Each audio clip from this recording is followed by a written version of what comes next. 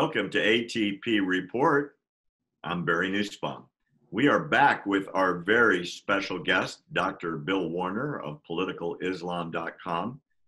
Dr. Bill has written a number of books on Islam that you need to read. Please go to his website and check it out. We want you educated so you know the background for the opinions that Dr. Bill is going to give us now.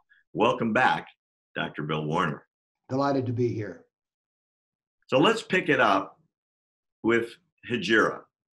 Can you explain that to me? Because it seems to be what's happening in Western Europe, Canada, Australia, and the United States to a very big degree. Tell us what it means and what we should know about it. Well, you should know first off that Muhammad's movement from Mecca to Medina, he preached the religion of Islam for 13 years in Mecca.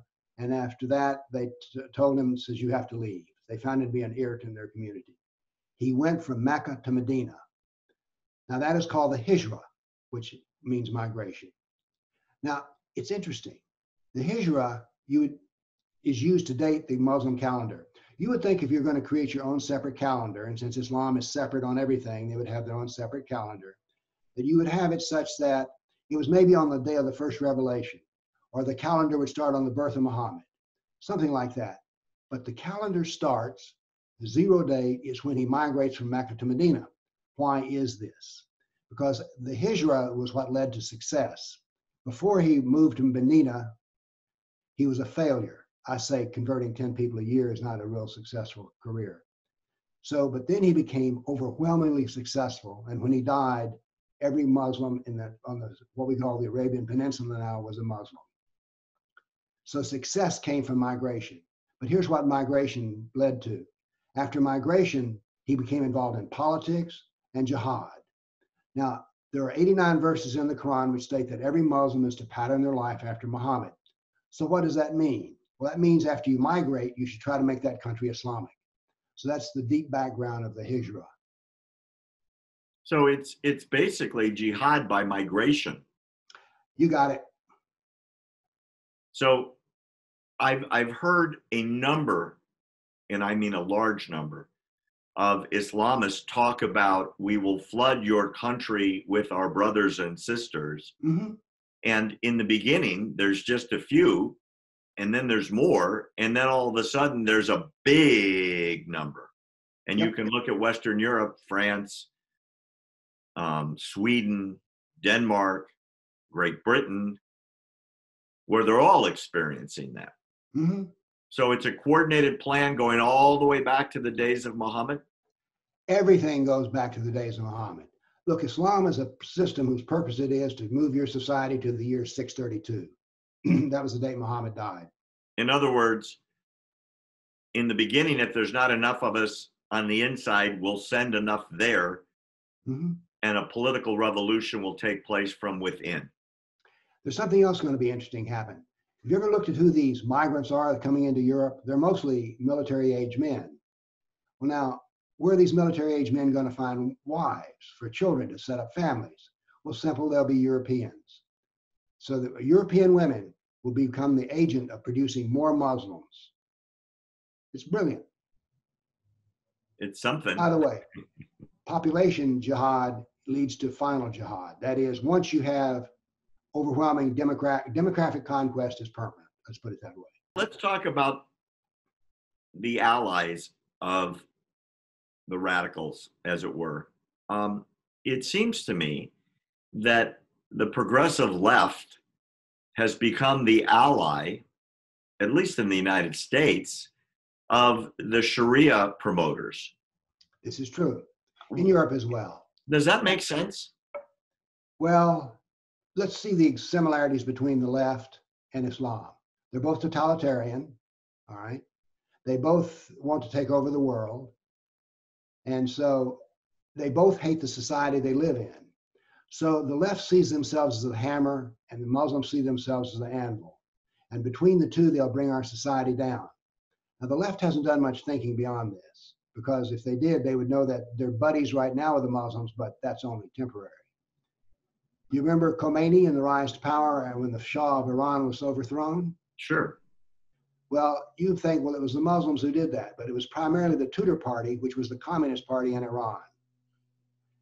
It took Muhammad, it took not Muhammad, it took uh, him, Khomeini, five days after he rose to power to issue death warrants to every communist party leader. So his good buddies were no longer his good buddies; they were thrown under the bus while their heads got removed. So this is this is the purpose. So they thought they were good allies, but they're only temporary allies. So in other words, the progressives, and I mean the radical progressives, um, mm-hmm. the communists, the wildly um, anti-capitalist socialists, um, the ones that want to take down the border, that want free everything for everybody, they believe, and, and I think they really believe, that they are the allies of and um, the supporters of Muslim freedom, and probably also believe that Muslims support their agenda, when in reality, what you're saying, I believe, correct me if I'm not getting this right, that that alliance will last right up until the day a Khomeini like person would take power here, and then everybody who's not a believer is on the enemy's list. That is correct. That is correct. Wow. Now, let me point out something else here, though. The Muslims not only have friends on the left, they also have friends on the right. I know of conservative or uh, evangelical Christians who are very pro getting along with Islam. So the key term here is apologist. All right. The apologist is the ally of the Muslim. Then you can be from the you can be a Jew, you can be a Christian, you can be an atheist and be this, you can be a member of the right or the left. So long as you're advancing Islam, you're an apologist. But the left does have a certain predilection for this. And it's even more true in Europe. So, like we just talked about, those apologists are best friends right up until they're not needed anymore. Perfect phrase, till they're not needed anymore.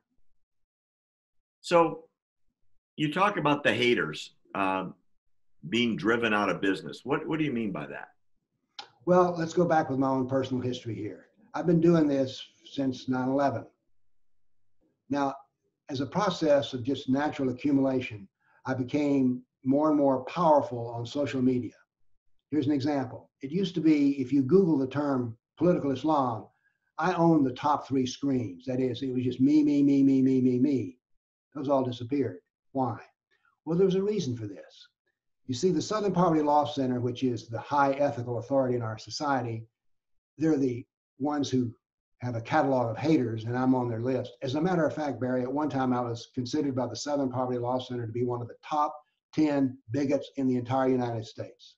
Quite an honor. well, it is an honor. And I just, I, I it didn't bother me. I mean, it, at first it's like, what, me? Not really?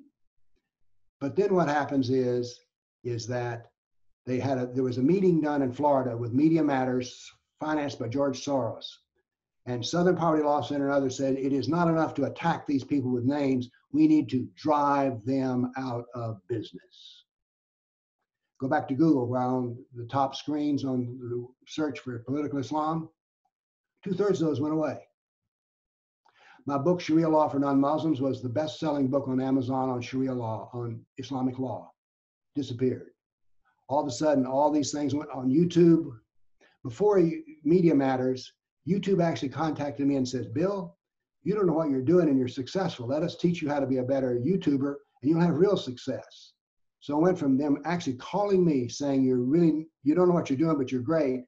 And then boom, I was demonetized on YouTube. Now, and is it, is it still that way? Yeah. So their purpose now is to drive us out of business. Now, I suppose that's some honor. I mean, I, do you realize who I have for enemies? I have Facebook, Twitter, Google. I mean, these are major brands, and they've and YouTube, and they've said, Bill is our enemy. It is astounding that one person would be considered the enemy of these vast corporations, and yet I am, along with others. I mean, it's not just me. I don't, I don't want to make this a pity party for Bill. I'm just giving you, these are my life examples. And Robert Spencer, and I'm sure Jamie Glazov, and everyone else has been attacked with these people. Here's the reason no doubt you're right. And we all, as witnesses to it, can affirm that what you're saying is the truth. It is true. Thanks for joining us on ATP Report today. Uh, special thanks to Dr. Bill Warner. Please go to his website, Political Islam, and start ordering his scholarly books that are written in plain everyday English so you can understand the background. Without the education, you don't know what you're dealing with.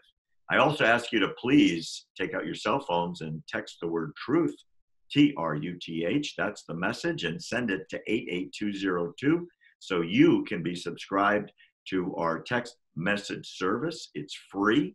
You'll get our videos and publications, essays on an almost daily basis, and all you got to do is open your cell phone to see it. Thanks, Bill, and thank you, our wonderful viewers, for joining us today for ATP Report. I'm Barry Nussbaum.